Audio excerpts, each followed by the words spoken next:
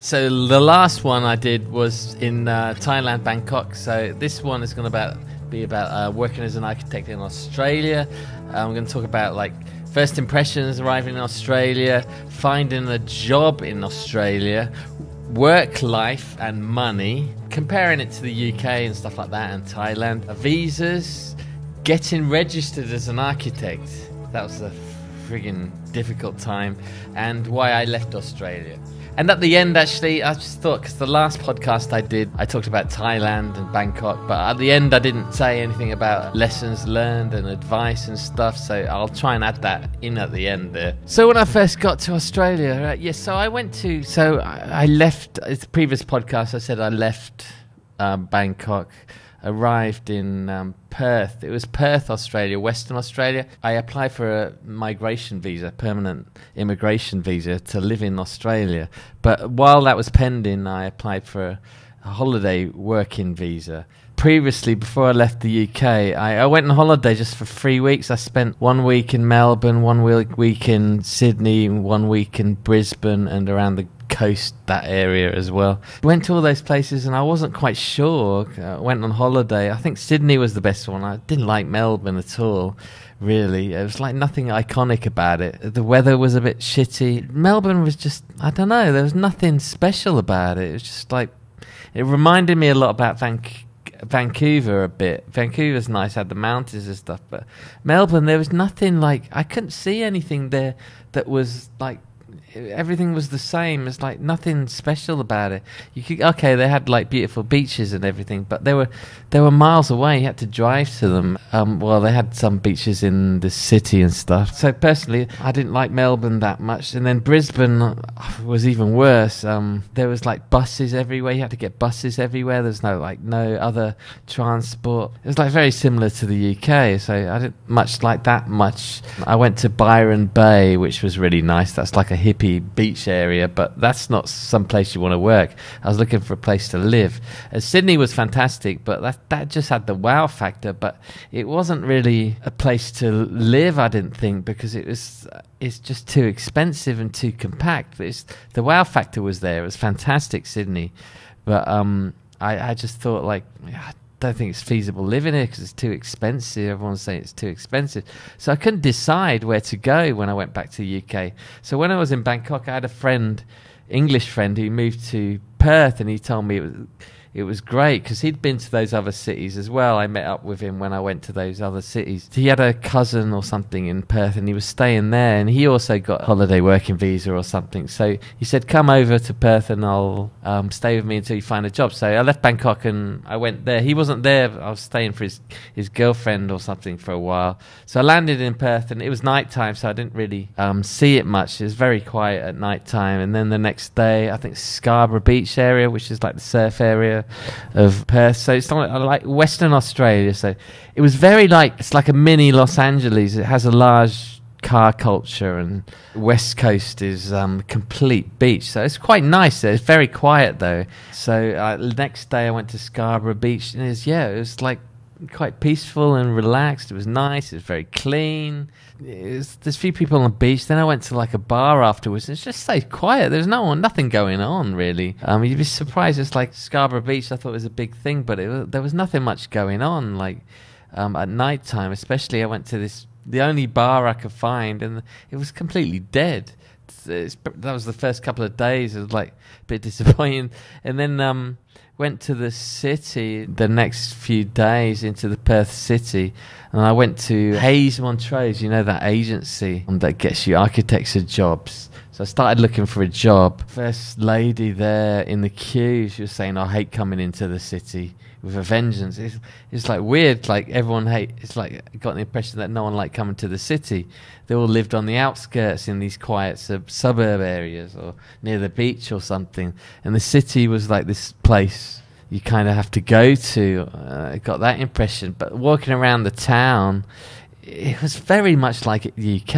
It's the first thing reminded me. It's like so much like the UK. The city centre, C- CBD, they called it, Central Business District it was like the It's very similar to the. that's all I can say. The shops and stuff are the same. Um, they had good public transport there, but it didn't go to the suburbs very well. You'd get a. They have like a sky train, a train, which is like a metro thing, and then you'd have to get a bus, which was a pain. So the metro thing was good, but it didn't go. It wasn't that developed that much. That was Perth, really. Okay, but the beach was really nice. The best thing about it was like there's a west coast beach, and you get the sunset there every night. That's the best thing about it. And that was first impressions. But later on, like years later, when I was in Tanzania, now I went to Los Angeles on holiday, and so much similarities between Perth and Los Angeles. It's unbelievable. Um, even the airport is the, designed the same you kind of go in. I just remember I had this long drop off point. It's the same design as Los Angeles airport. And then they have the West Coast, the car culture, like I said before. And the city thing was like, like city is kind of separated. Apart from similar things to the UK, they had um, the beach is fantastic. The weather, like that's what I'm saying. Like the weather is not as great as everyone makes out. Um, even when I was in um, Sydney and Melbourne's pretty bad. Um, it rains a lot. Uh, the weather's not that great. Uh, Sydney is getting worse now as well. There's a lot of rain, but like Western Australia was supposed to be um, really good weather, but it like a lot of the time of the year it's actually pretty cold. Um, uh, especially in the mornings going to work, it just had that UK vibe. Oh God, it's still freezing going to work. So it doesn't stay hot throughout the whole year. They have proper seasons. You still get winter. It's pretty cold, autumn and summer. So it's not not warm all the time. They make out um, Australia's warm all the time, but it's kind of a bit of a lie because it isn't.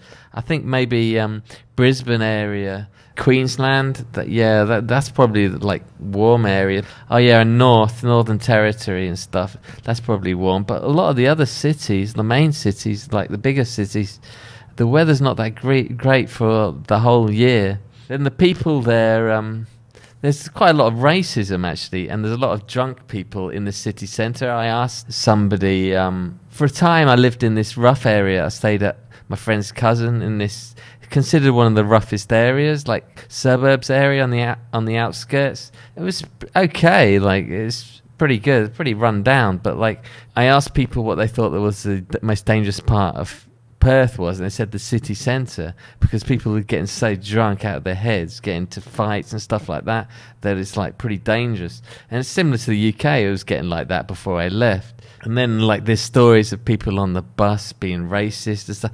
And that's a lot. I thought there was a lot of racism. As this one thing that shocked me about Australia was um, there's a lot of racism towards the Aboriginals. I couldn't believe it. Like they have like nicknames for them and stuff like that. It's terrible. Like uh, they thought it was funny, but like that's quite shocking. Um, a lot of it seemed quite old fashioned. It's like where England was like 20 years ago, that kind of vibe, some of it sometimes. So there was that. There's, oh yeah, there's but these, these people called bogans. Uh, or cashed up bogans. Bogans were the term name for Australia. It was look at on Google Australian people that don't have a that have an unsophisticated. They talk and look unsophisticated or something. It's like equivalent to a chav in the UK. You probably don't know what that is, but someone was a bit rough or something like that. But that was pretty cool. I thought it was pretty cool because I started wearing bogan clothes and stuff, which was quite cool. You like the flannel shirt and stuff, and the baseball cap. So I started wearing that for a while.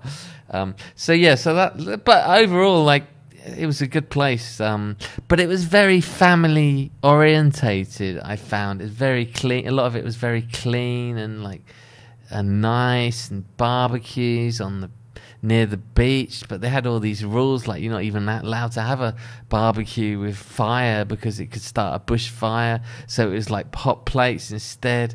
It's like kind of ironic there. Uh, Australia's Australia's famous for barbecues, but you're not allowed to have a proper barbecue and there was like kids, very kids orientated, family orientated. So that was one of the reasons why I left. I'll discuss that at the end. Um, so then finding finding a job in Australia, um, I had a, I lined up an interview the da- like two days after I landed, and um, that went okay, but I didn't get the job. And they've actually that company have actually since been become one of the best companies in that area. They're doing all the big apartment towers. They were quite small when I had an interview, they're tiny, but now they're like famous for doing the biggest apartment buildings in in Western Australia. Um, but anyway, I didn't get that job for some reason. Then I had then I had quite a few interviews come in. I don't know why. I think it was the money thing. I think um, I was asking for like more money than um, they thought. I was like, look, comparing my UK salary, and I was like equivalent to that and a bit more. I was asking for seventy or eighty thousand. I think Australia. I think it was I can't really remember exactly, but I think seventy or eighty thousand Australian dollars, sorry, uh, uh, per year, and that's what I was saying at the interviews, and they were, I think that was putting them off. And I had quite a few interviews, and I went to Hays, as I was saying, Hays Montrose, which is a famous agency. They were pretty useless. They didn't help me. Then I had a few interviews, and I, I started to guess, and I started to understand the place a bit. I started to un- knew a lot of the companies. I had a loads of interviews. Then some agency called me and they wanted to meet me to like potential like jobs and stuff. This really pissed me off. Um, I met these two two ladies. They were saying they were from a job recruitment agency for architects. Sat down, like had a coffee with them. I told them loads of information. I told them everything about Perth. It's, it's like like they didn't know anything about Perth, what was going on. Told them about all my interviews, told them about who I'm seeing, um, told them about what they're looking for, and then they didn't fucking tell me anything. I was like, I was so pissed off afterwards. Like, I've just arrived in Australia, like a couple of weeks. These recruitment agencies based in Australia are supposed to get architects a job, and they, I know more about what's going on in the area than they do. Like they're kept asking me, "Who do you have an interview with?" And what kind of work are they doing? Like Jesus Christ! They, I gave them everything on a plate. They didn't tell me shit, and they didn't even call me afterwards. I called them. They go, "Oh, you got any jobs and interviews lined up for me?" It's like nothing. It's like I was just doing all right on my own without them. Like what a waste of time! And like just that you have to be careful with recruitment agencies. They just they're just fishing. A lot of the time, they're just fishing for information f- from you. Um, oh, that's pissed me off. So then I had more interviews, and then then I started to get a bit desperate because no one offered me a job. Then I started lowering my salary a bit, and then um, this one on healthcare came in because I had a lot of experience on healthcare architecture. So I got a job at this healthcare special architect company I won't mention the name, but they were pretty good. But it was like healthcare because I had a bit of experience in the UK on healthcare. Um, some healthcare architecture firm employed me, so I worked there for about two years, I think, coming off two years. So now going on to like the work life and money. So they offered me. This is the salary I got. I think it was. I think I remember it now. It's like sixty-five thousand dollars per year, which is pretty shit.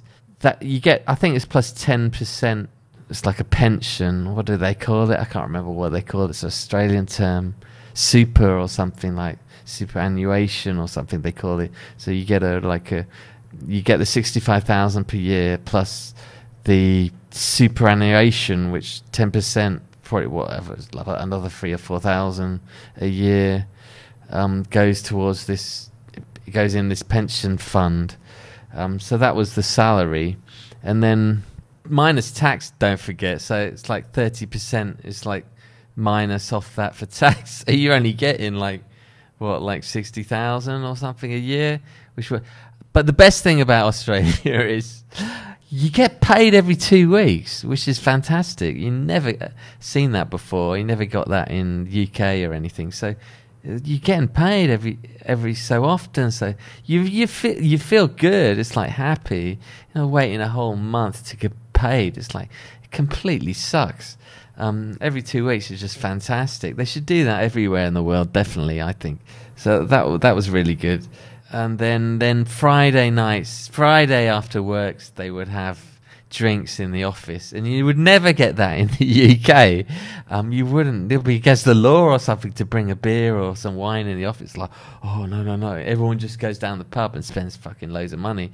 But um, Australia, they bring like the beers in the office. They have a table Friday, like four o'clock or five o'clock. They'll have beers, wine, cheese, pizzas, and stuff. There's one company I work for um, they got pizzas and beer and wine like at four or five o'clock every Friday, and um, God, I would eat so much pizza and drink so much beer, and then I would work. Um, I was getting paid. Um, this is another company I worked for. I, I got paid per hour, so so I would work Sunday mornings, and there'd be like beer left over from the night bef- the day before, and I would like take it in my car and put it there and take it home. I'd like shitloads of beer and I'd just like grab it and like stick it in my car and, and drive home with it and drink drink it when I got home. Um, so that was the second company I worked for. So after I worked for that, um, I ended up in healthcare again. The thing is with Australia, it was it was too casual. Um, the the work life. I don't know if it's because I um, only just worked there, but they were all saying to me at the interviews, "You need local experience." Oh no, there's it. You need local experience, mate. They just say that as an excuse to like fuck with your salary. You need local experience, mate. Okay, and like I was there, like I worked like two two years at that healthcare firm. It's like, okay, I've got local experience. Now what? Still fucking giving me the same salary. It's just bullshit. Um, so then, like, so they put and they put you on these um, contracts because this is after the GFC. They didn't want to uh, employ you as like a permanent position. So there was all these like permanent position people working in the office, and they would do fuck all. There was this guy. He was I was working on the same project with him.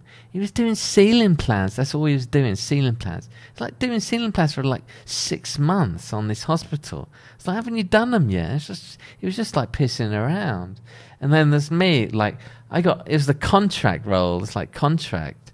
So like, it was like a, I think it was only a three month, for a three or four month contract with possibility of extension. And they're, they're, they're shits because what they did, like, after the four months contract, they wouldn't say anything. You just come into work and you just continue working. So they wouldn't give you another contract. And then you'd work there. I mean, I was work, ended up working there like a year, was it? I think over a year. Yeah, one year. Then after about one year, like the director comes in the office, goes, "Ah, oh, sorry, we haven't got much work. We're cutting back staff. Um, you've got a week." So that was it. You were like, so you like going in after four months. You going in, pay as you go all the time, and then suddenly you just get told like, "Oh, sorry, you know, we're going to work it," and you don't because you contract, you're not going to get paid off or, or anything.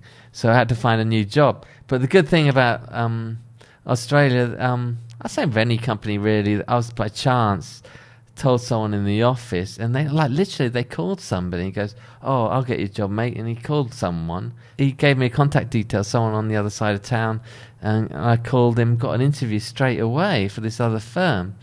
And um, around that time, I was doing a Revit course because I knew I needed to learn Revit, and my company I was working for they didn't use it, so I just finished a Revit course. It was like it was called Revit Essentials, one day a week for four weeks, I think so four days, four full days. I think it was just slightly after I left that job, and then I had an interview for this other job, and they were they were working on like this huge multi-million dollar, billion I think it was a billion dollar hospital in um, Western Australia, and it was the biggest BIM project in the world at the time. That's what Autodesk said and I just finished this Revit course, and I went for the interview and said, "Yeah, I know Revit a lot. I used it in the UK, but I haven't used it for a while. Just been on this Revit course, blah blah blah.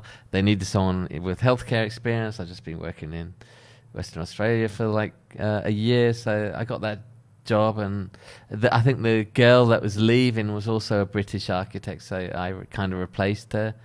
Um, so I got put on that project for a while, but it was such a big project and it was same kind of thing as well. Contract, three months, then pay as you go. But I was getting paid per hour. Now this was good because um, they had these timesheets there, and everyone was like logging in as many hours as they could. And they told us we can work on Sundays if we want to, and Saturdays. So I, I'd come in, like I said before, and work on Sundays or Saturdays, and I'd take the beer from the day before, and I, I would work. I didn't work all day. I'd just go in and for a few hours, log it down, take some beer, and leave. An extra three or four hours, and I think it was double the time as well because it's a weekend. So that was pretty good. So I, I racked up some money there. That was really good. And then you'd put in 10 hours a day or something. Sometimes you would just like wing it, add an extra hour here and there. Like they wouldn't know. So you, uh, that was good about that. Um, and that was the same thing. But this time I learned from the last job because I, I, think it was a three or four month con- four month contract. And when I, I took, uh, when I ran out of that four months, um, I, I, started looking for a new job because um, I knew I didn't want to do what happened last time, just pay as you go. So, um, but that was a that was good experience working there. It was um, the culture was quite good. They're quite friendly. Um, there's a good vibe in the office, especially like the Friday afternoons and stuff. Similar to the UK, that's why I want um, one of the reasons why I left. No one really wears suits or ties, but that was the same in the UK. Like even went for interviews, you never wear a suit or tie. Um, but you feel more. I think the way the Australians speak is a bit more relaxed, informal than it is in the UK. You know, it's like uh, "How you doing, mate?" stuff like that. So it's like "Good day, mate." It's like it's like pretty. You feel more comfortable and relaxed. I think. So that second firm that was a big hospital I was working on, but it was so big that you like put in segments. That's the thing you work in. It's like the UK. It was the same shit I was doing in the UK. I wasn't really designing anything with both firms. You just drawing up, doing the construction stuff all the time. Not much concept work at all. Um, so the first firm was just yeah construction details most of the time, and then the second firm, I was doing space planning, a space planning team. It was such a it's a billion dollar hospital that so big. The BIM project was so big. They separated so many teams, and it was so. Oh my god! They had so much BIM procedures. It was completely BIM organized. It was looking back, it was completely bullshit. They had like one team doing families for Revit, one team doing doors, one team doing space planning. Uh, that's what I was doing.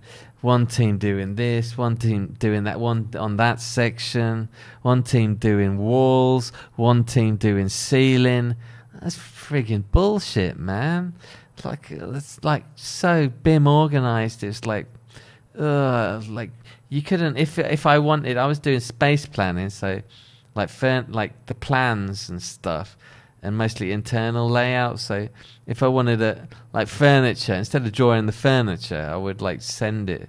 I'd do a hand sketch and send it to the family team, so they would make a BIM family for that furniture, like a desk or something. It's like every, uh, that's it's a way of doing it, yeah, but like, yeah. So that's how that worked. So then came after the four months, I started looking for a new job because I didn't want to end up what happened last time, where um, they suddenly say, "Oh, you got a week."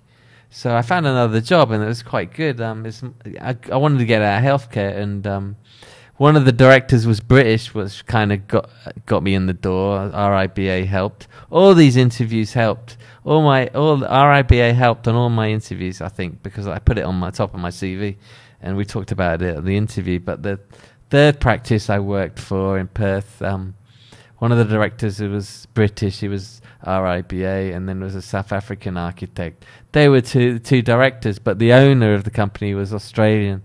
That's how they run it. But I don't know how much work he did. The other guys were doing most of the work. So I joined that company. There's doing a um, multi-story, high, high, high story um, office building, which I wanted to work on.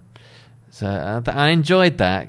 It was a smaller firm as well. Uh, both the previous firms were quite large firms, at least, at least fifty people. Um, so that's considered large for an architect firm. But this one was like 10 people or less, which I realized is more what I enjoy. It's more of a vibe. And you're working on everything. You're not just working on, um, you know, space planning, doors, whatever. So they had, um, they did it. They didn't have BIM managers and stuff. It was just like there was a guy there. He just did it all. He didn't have any. No one had any problems with BIM. We just do it yourself. So that was that was fine. Um, if I had BIM questions, I just asked uh, one of the guys in the office. He, uh, we just did it ourselves. They had no problem with that kind of stuff. So I worked on. Then I worked. So I worked there for a bit on an office project. Um, so then, uh, what should I go on to now? And then I, I left, and because um, the Tanzania project came along, but like I'll talk about visas for a bit. So I was on a migration visa. There was a working holiday visa I applied for, but I didn't use that because the working the permanent residential visa came in. So you can apply for a migration visa. That took two years to go through. It takes a long time now. A lot of paperwork involved in Australia. Everything's bureaucratic, so much paperwork, and a lot of hard copies, not just digital. So that you can get, if you're under 30, I think you can get a holiday working visa. You can work there for a year and then extend it. I had a migration visa, but I had to stay there two years to extend it. But then I had this um, Tanzania thing came out, came up after after a year, nearly two years. I didn't quite stay there two years before I left, so I screwed that up. Um, they might extend it if I ever go back. I'm not sure. But then around that time, just before I had the Tanzania interview for this job I got now, because I moved to Tanzania, I I tried to get. Um, I was thinking of staying in Australia, and um, I was trying to get um, registered in Australia, and those guys were complete fuckers. Um, so um, I I did. I was willing to follow all the procedures, right? So something like 14 oh, that's ridiculous i'm sure it's like 14 or 8 copies. 14 copies of your portfolio your hard copies student portfolios had to send to canberra. So I was a, i'm a british architect. I want to apply to be an australian architect. So um, there's two ways of doing it. You do it through experience or you do it through education so i decided to do it through education now, if I went back, I'd do it through experience. I think it'd be a lot easier. But I did it through education, and I had to send like 14 copies of my hard hard copies of my portfolio to Canberra, and then they'd ask for an interview. And then if I passed the interview, then I had to do exams as well. Like, jeez. So I was willing to do the interview. Had the interview, showed some of my work and stuff. This is AIA, Australian Institute of Architects and they they said my edge they didn't I don't think they liked it. And then they started they started asking me questions about my uh, degree in the UK they're saying you've got a master's? I said yeah. He goes oh so how did you get the master's then? Like oh you just did that and blah blah blah. I go no it's like a full on master's. I did three years blah blah blah. And they, they were like trying to put down the it's like they're jealous of the UK or something. They were like putting the UK down. They didn't I don't think they liked a British guy trying to come and become an Australian architect. And then I showed, I was showing them some projects, and they were asking me questions about projects at university. This was like, how many years ago? Must have been like at least five years ago. I couldn't remember them much at the time. They asked me questions. I was like, "Are there any setbacks on this project?" I was like, uh, "No, not really." It was university project and stuff like that. So like after the interview, they, I got a letter saying like my British education is not as equivalent to the Australian education in architecture. I was like, I was like, what the hell are you talking about? Um, so I wrote a, I wrote a letter to the Australian um, ACA, Australian uh, Accreditation of Architects Australia, something like that. AACA oh god, something like that. I wrote them a They're the ones who rejected it, but there was the Australian Institute of Architects that gave me the interview. So they sent me the letter, sent back, say, how can you do this? Like, how can you say this when um, I'm a registered architect in the UK? I've, um, had experience. I've done the education system. I'm registered at RIBA and everything. Your education system is based on the British one. How can you say the education system I've done is not equivalent to the Australian one? I wrote them a letter. Had to wait like months. They wrote back and said, "Oh, your appeal has been um, accepted. We'd like to ask you for another interview." please send another 14 copies of your portfolio. I was like, what the fuck? Another 14 copies of hard copies of my portfolio? That's a hell of a lot of money and a hell of a lot of fucking hassle trying to do with that. It's coloured copies as well. So then I got this interview for a job in Tanzania. So I thought, so that came along, and um, I just took that. Um, so the reasons why I left Australia was like um, the money wasn't as good as I thought it would be. It's more or less similar to the UK. I mean, a lot of things were similar to the UK. That's why, why I left. It wasn't different enough.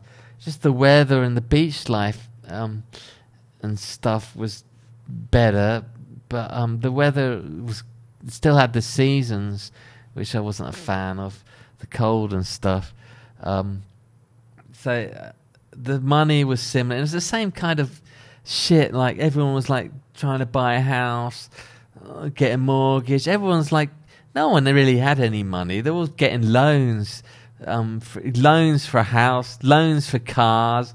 They had these brand new cars, and like they were on loan on credit. They didn't own the car really, and then they had insurance. Like it made me laugh. I had this. I bought this second-hand car, like full, like off completely bought. There's people like getting loans for car, and their car gets break down, and they'll just get their um, what's it called? Is it insurance to get a new car or something?